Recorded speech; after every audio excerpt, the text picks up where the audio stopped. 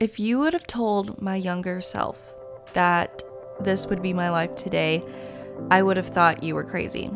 If you would have told me that an iPad, an Apple Pencil, and my creativity would completely drive the purpose in my life, bring me closer to God, provide for my family, build a sustainable business, I just would not believe you. And I know there's a lot of you out there today that thinks it's not possible.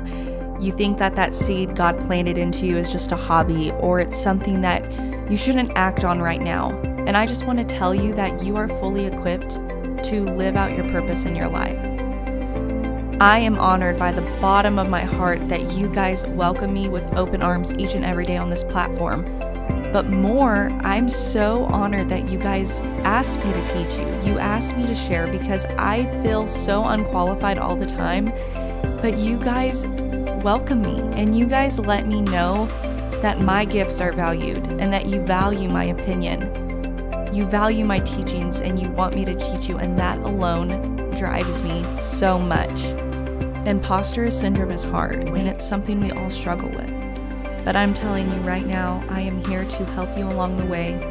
If you have an iPad and Apple Pencil, you have Procreate or you want Procreate, and you just don't know where to start, I designed this course specifically for you. Around here, we believe that there is room at the table for everybody in the creative world, and it's just waiting for you. It is missing you. You are the missing puzzle piece.